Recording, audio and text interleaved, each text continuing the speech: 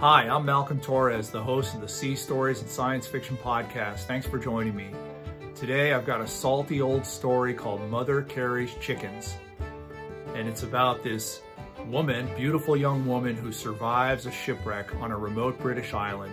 And for decades she haunts the stormy crags above the sea, talking to the birds, and she becomes part of the folklore and a bit of a mystery. And she talks to the birds and the seabirds fly out and they fly around the ships that come near the island and the sailors, being superstitious, begin to think that the birds have some kind of magical power to keep them safe because the lady who survived the shipwreck many years ago is up in the cliffs talking to them. So it's this kooky, kind of superstitious, fun, salty old story. I hope you enjoy it. Uh, leave me a like and a comment and uh, subscribe. Thank you for joining me.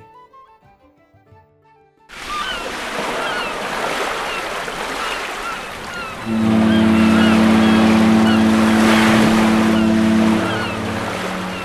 right, welcome to the Sea Stories and Science Fiction Podcast. Everybody take your seats, stow your gear, let's get ready to shove off. The title of today's story is Mother Carey's Chickens, a legend of the Scilly Isles. The Scilly Isles is the name given to the group of islands situated on the English coast at a distance of about 30 miles west of Land's End on the coast of Cornwall. They may be seen from this point in clear weather like broken cliffs rising out of the Atlantic. These islands cover an area of about 40 miles in circumference, and being in the direct track of vessels bound to the English Channel, present a formidable impediment to the safe navigation of these seas and are frequently the scenes of disasters and fatal shipwrecks. Many merchant ships have been lost upon these rocks with all their crews, and the fatal shipwrecks of the British ships of the line and other ships of the fleet, resulting in the death of many brave officers and men, are recorded in the naval annals of Great Britain. Some of these islands are nothing more than high and craggy rocks, elevating their heads above the ocean. Six of them, however, are of considerable size, mostly covered with soil and inhabited. Their names are St. Mary, Trescaw, St. Martin, St. Agnes, on which the lighthouse is erected, Samson, and Brehar. The largest of these islands is St. Mary's, which is about 10 miles in circumference, and a considerable portion of it is susceptible of cultivation. The inhabitants are industrious, hardy people engaged principally in the occupation of fishing and husbandry.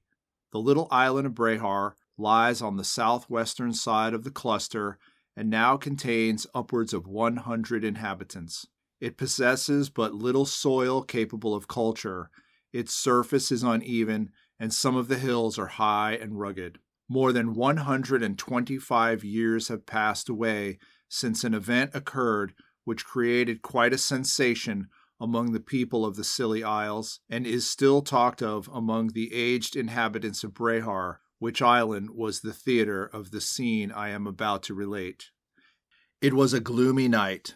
The wind blew in fearful gusts from the southwest, the rain fell in torrents, and the waves dashed with a loud and angry roar against the naked rocks. The fishing boats were safely moored in the little bay or drawn up on the shore and the good women and children who dwelt on the rough and barren island of Brehar, while they listened to the raging of the furious storm, devoutly thanked their God that their husbands, their parents, and their brethren were not exposed in their frail boats to the terrible hurricane.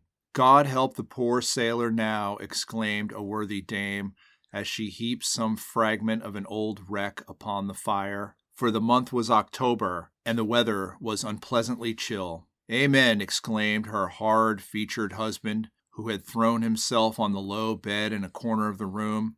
I hope no vessel will be driven among the rocks on such a terrible night as this, for although a wreck would be a godsend to us, it would be certain death to all the poor fellows on board. Hark! I thought I heard a gun. It was only the scream of the wind. It was no alarm. It was the sound of the wind and the waves. It was a gun. I know the sound too well to be mistaken, said the fisherman, as he threw on his outer garments and prepared to leave his hut, ascend the crag, and brave the fury of the blast. And there's another, alarmingly near. Some vessel is driven by the tempest upon these rocks. Good woman, rouse out the boys. I will summon our neighbors, but I'm afraid it will be to no purpose. What madness to venture so near the Scilly Islands on such a night as this. In a few minutes there stood on the edge of a cliff, peering anxiously out upon the murky waters, regardless of the rain or the wind or the sea salt spray, which, when a wave broke beneath their feet, fell over them in drenching showers, a little band of men, with weather beaten features, but athletic figures and warm hearts. They feared not the storm. Its howling was music to their ears, to which they had been accustomed from infancy. But an alarm had been given, and a mingled feeling of curiosity and humanity, and perhaps a secret, unacknowledged sense of pleasure at the prospect of a profitable wreck, urged these rude and uncultivated men to mount the summit of the cliff amid the darkness of the night and the conflict of the elements. Another gun was distinctly heard. The vessel, urged by the violence of the tempest, was rapidly approaching.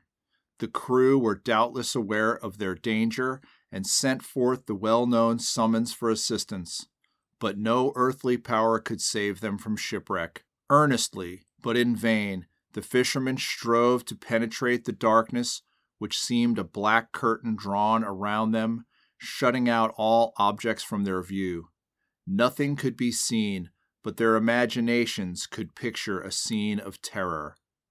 Through fancy's magic glass, they witnessed struggles for life, convulsive wrestlings with the water, and death in a fearful shape.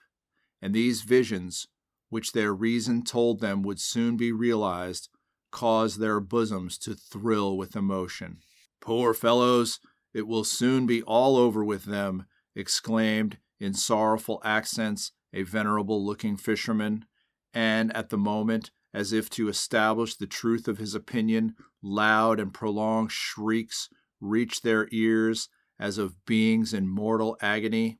There, cried the fisherman, the ship is among the breakers. She is on the rocks.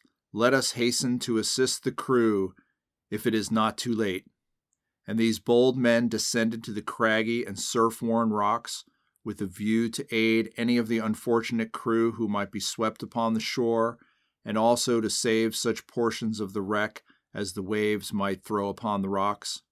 By the light of lanterns, which were procured from their cottages, they narrowly examined the surface of the waters and the crests of the foaming breakers and it was not long ere they descried borne toward them on the heaving billows broken spars, deal boards, pieces of railings, and other materials, showing that beyond a doubt some vessel had struck upon the ledge within hail of the spot where they stood and had been dashed to pieces.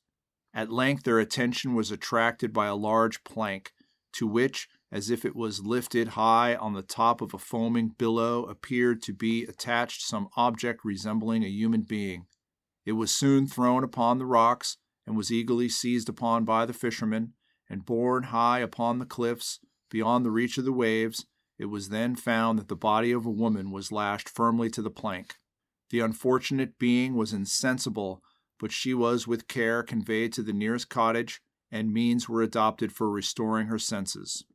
For a long time, these efforts were unsuccessful, and it was thought her soul had taken flight to another world.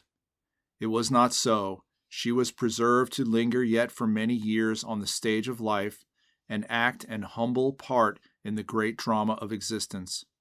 But she suffered much agony before she was restored to consciousness, and many hours elapsed ere she was able to hold converse with anyone and enlighten her kind preservers of the subject of the melancholy event which had taken place.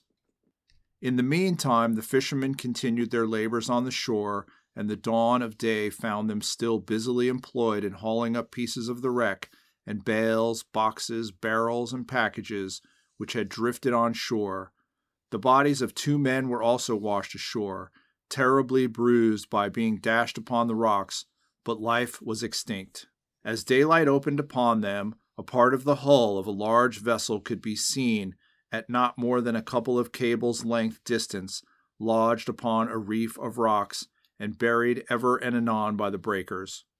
A portion of the hull and all the spars and the greater portion of the cargo had been forced by the wind and waves upon the iron bound shores of the island. But all the crew of that ill fated ship and all the passengers, save that one poor female lashed to a plank, had been hurried into eternity. They had been called suddenly and unexpectedly, while perhaps the ties which attached them to life were strong and numerous, to account for their conduct at the bar of their God. The woman who had been saved from death on returning to consciousness, and on hearing that all her companions in that devoted bark were drowned, seemed overwhelmed with the bitterness of woe. The empire of reason appeared to be overthrown, and in the midst of her outbreaks of grief, she often spoke of her husband and child. Her destitute, lonely, and mournful fate was deeply pitied by the rough but honest inhabitants of that sterile island, who were unremitting in their efforts to soothe her sorrows and alleviate her woes. It subsequently appeared that the vessel which had been lost was the large ship James Moffat, which a week previous had sailed from the port of Bristol for Philadelphia with a cargo of provisions, clothing, and goods of various kinds for the colonies. Among the passengers was a gentleman with his wife and child. His wife was a beautiful woman about twenty two years of age, possessed of every grace and accomplishment, and it appeared that when the storm which we have described was at its height, and when the dreadful roar of breakers was heard under the lee, a sound of fearful import in the ears of seamen, in that awful moment, the husband and father, with his own hands, attached his living treasures to a plank, which he hoped would be the means of rescuing them from death. The child was washed from the plank by the forces of the waves, but the mother, as I have already related, reached the shore and was secure by the kind hearted fishermen. Some days elapsed ere she was able to give away the particulars of the disaster during which time her life was in imminent danger, and when she was so far recovered that she could understand the questions put to her, her replies were reluctantly given and unsatisfactory. She would furnish no information respecting the place of her home or whether she was going to or returning from the land of her nativity. She merely said that her name was Carey, and whether she had near connections or friends residing in Europe or America, no one could tell. It was evident that all her hopes and her joys were buried beneath the waters with her husband and child. A dark and impassable barrier seemed to be raised between her and the rest of the world, and she looked forward to death as to a friend that would pave the way for a reunion with those who she loved. Some weeks passed away, and her physical strength was in a great measure restored, but she evinced no desire to quit the island. On the contrary, when the subject was mentioned, that she was told that means would be provided, if she wished, to carry her to St. Mary's and thence back to Bristol, she exhibited dissatisfaction and alarm. Oh, do not, she said, tear me from this sacred spot, where I can behold the turbulent waves as they roll over the bodies of my husband and child. Pray, let me remain here. I promise you I will not trouble you, nor do I wish to eat the bread of idleness. I will work. I will assist your wives in their household duties. I will nurse you in sickness, and I will be a friend and a mother to your children, and instruct them in the paths of learning and in their duties to their God. I will willingly submit to any privation or hardship, only do not, I pray you, insist on my leaving this island. It was evident that misfortune had affected her reason. Her words and manner excited the pity of those whom she addressed, and they assured her that her presence was by no means unwelcome, that they would be pleased to have her remain among them as long as she chose, and would never mention the subject of her departure again as it appeared to give her pain. The subject was never again referred to. Mrs. Carey remained upon the island and for many years was an object of compassion, of admiration, of respect or fear to the inhabitants.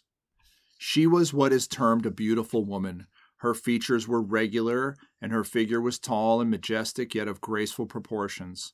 But her countenance during life was never known to be lighted up with a smile after the death of her husband and child. Her features became pale, rigid, and resembled the chiseling of a marbled statue. Her words were few, for although never reluctant to impart instruction or give advice when it could be of service, she abstained from all unnecessary conversation, and studiously avoided the subject of her former home or connections. In the dead of night, when the inmates of the humble huts were wrapped in sleep, she would wander about the cliffs or seat herself upon the extreme verge of a precipice and pass hours in gazing into the depths below and indulging in gloomy reflections. And when a fierce storm arose, and the winds howled, and the rains fell, and the thunder rolled over her head, and the lightning hissed, and the waves dashed madly against the rocks, she would ascend some lofty crag and stand there for hours, looking like the spirit of the storm and gazing abroad into the troubled waters, seeming to enjoy the conflict of the warring elements. On the little promontory on the southwestern part of the island of Brehar were some ruins of an ancient building believed to be a temple built of stone by the Druids many years ago. This was a bleak and desolate spot, at a distance from any habitation and exposed to all the fury of the winds and the inclemency of the weather. This spot commanded a full view of the ledge of rocks on which the ship James Moffat had struck on that fateful night, and it was a favorite resort for the Widow Carey, by which appellation the unfortunate woman was now generally known. And here, at her request, a habitation was prepared for her among these ancient ruins, a place well suited to the gloomy tone of her mind. And here, upon this promontory, was her home, and in this dwelling and upon the adjacent cliff she passed most of her hours alone. Her form could often be witnessed moving about among the crags when the fishermen departed from the shores as the day was breaking in the east, and on their return at evening twilight her loose garments would be seen floating in the air from the summit of a high rock and it is not surprising that those ignorant and superstitious people were led gradually to regard her with a feeling of awe and to believe that she possessed a power which was seldom confided to mortal hands. It was usual, when a party was about to embark on a distant and adventurous expedition, first to proceed to the residence of the widow Carey and ask her blessings on the voyage, and when they returned in safety from a successful expedition, they would smile and wave their hands as they passed the headland on which was her wild abode. The little petrel birds, which at certain seasons were seen in great numbers around the Scilly Islands, seemed to be to her an object of great interest. She appeared to have entertained the idea that these birds possessed a mysterious nature, that they were indeed the bodies in another form which enshrined the spirits of those unfortunate beings who had perished by shipwreck or other disasters at sea. She loved to watch their graceful motions as they flew over the waters, and to listen to their shrill cries even in the midnight hour, which, it was believed, predicted an approaching tempest. She would sit on a rock and talk to these stormy petrels for hours, and often occupied herself in supplying them with food suitable to their wants. It is not, therefore, remarkable that these strange birds love to frequent the waters that wash that part of the island, and might be seen at almost any hour in large numbers flying backwards and forwards near the shore and hovering around or apparently resting upon the waters which bathe the widow Carey's promontory. The inhabitants believed that she held converse with these birds, that they understood her language and replied in a language of their own, intelligible only to herself, and henceforward it was considered not only an act of wanton cruelty, but wicked and unwise to kill or injure one of those inoffensive petrels who seemed to be objects of so much interest and care to the unfortunate woman that they received the name of the widow Carey's chickens. Many years passed away, and another generation came upon the stage. The widow Carey still lived. She was unchanged in character and habits. Still, she made her home within the ruins of the ancient Druidical temple. She still wandered at midnight in the midst of storms and exposed to the rigors of the wintry blast among the rocks and cliffs which overhung the raging sea. She still shrank from any intercourse with the inhabitants of the island and cherished her attachment to the stormy petrels. She was an object of wonder and admiration to the children who gazed, not without some sensation of fear, upon her gaunt figure, now bowed by age and sorrow, upon her withered cheeks, and upon her gray eye, lighted up by the fires of insanity, and the words, Mother Carey, were often quoted by weak parents as a bugbear to frighten delinquent children into the fulfillment of their duties. But she was never known to do harm to anyone. On the contrary, she had given many proofs of a kind and benevolent disposition, and was regarded by the older inhabitants of the island with a considerable degree of affection mingled with awe. Indeed, she was always treated with kindness by all the inhabitants of the island, but this might be attributed in some degree to fear as well as to affection. She was supplied by the fishermen with all the necessaries of life. In the winter of her life, when she had passed at least three score years on the island, and her pilgrimage was drawing to a close, she talked more frequently to herself than formerly, and was often heard to utter in an impassioned tone names of persons which had never before been heard by the inhabitants. She was often evidently wandering in other lands, among other people, and witnessing other and dearer scenes, but no clue was ever given to her real name, her family, or even her country. One cold and dismal morning in the month of March, as Abel Millar, a worthy and venerable fisherman, who well recollected the time when the wreck of the James Moffat took place, and the widow Carey was cast upon those shores, with his two sons, was passing the promontory on his boat. On his course to the outer fishing grounds, he saw that extraordinary female, apparently seated in a reclining position on the summit of the crag, a favorite resort with her, which was nearest to and overlooked the ledge upon which the fatal shipwreck took place. This circumstance, however, elicited no surprise, as it was by no means an uncommon occurrence. But when, as the sun sank beneath the horizon and the shades of night began to fall, Abel returned from his expedition and saw that she was still on the same spot and that her position appeared unchanged, he became somewhat alarmed, and after his boat was secured, accompanied by his sons and some neighbors, hastened to that barren spot of the island which was regarded as the domain of the widow, or as she was now generally called, Mother Carey. But this singular and unfortunate woman had reached the goal of her sorrows at last. Her spirit had shaken off its earthly tenement and had ascended to another and better world. A smile remained upon her features in death, an indication of happiness which had never been witnessed by the inhabitants of the island during her life. It seemed as if she had died, rejoicing at the prospect of meeting those in the realms of bliss, whose fate she had constantly mourned for threescore years. Her withered and fleshless hand grasped a miniature richly set in gold, which was attached to her neck by a golden chain. It was a portrait of an elegant looking man in the morning of life, in the fullness of health, and with a countenance beaming with hope and with joy. Undoubtedly the likeness of her husband, to whom she was attached by ties which time or sorrows could not destroy or weaken. But the contrast presented to the view of the fisherman between the appearance of the two individuals was a painful one.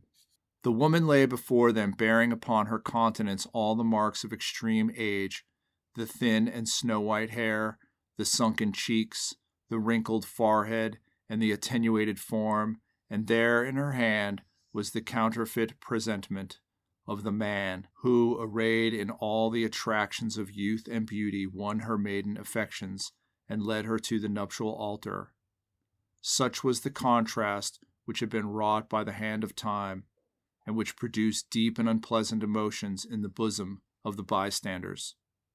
Such, say the legend, was the fate of Mother Carey, and her name is still remembered by the aged Tritons who inhabit the wild and sterile spot known as the island of Brehar, and the remains of the temple of the Druids are still pointed out as the habitation of that weird woman. The stormy petrels continued for a time to visit the islands and to gather in flocks around the high and bleak promontory. But their friend, their guardian, was gone. There was no one to pamper them now, to watch their circling flights, and to hold converse with them in a language with which they seemed pleased. Even if it could not be understood, and the fishermen thought, it might be fancy, that the sounds which they uttered were more plaintive than before, as if they felt and deplored the loss of their benefactor. But even after death, she exercised over these mysterious birds a kind of protective influence. And not only the fishermen of the Scilly Isles, but the mariner on the broad blue ocean, even now, views with a kind of holy horror any wanton attempts to destroy or injure the inoffensive and social but incomprehensible Mother Carey's chickens. And there you have it, shipmates. Mother Carey's chickens. A famous old story that's been told and retold by sailors for hundreds of years. This story is from an old, old book that I found in a bookshop in Northampton on Long Island New York. I was browsing the bookshop as I do, looking for old sea stories and science fiction books, and I found this book. It's titled Ocean Adventures and this story is from that book. It was published in the 1850s in Boston by a man named John Sherburne Sleeper. And thank you, folks, for joining me, and I look forward to meeting up with you online. I'm on Instagram and Twitter, Facebook, Goodreads, LinkedIn. I have a YouTube channel. So I hope you've enjoyed this story. I certainly have. Until next time, fair winds and following seas. Mm-hmm.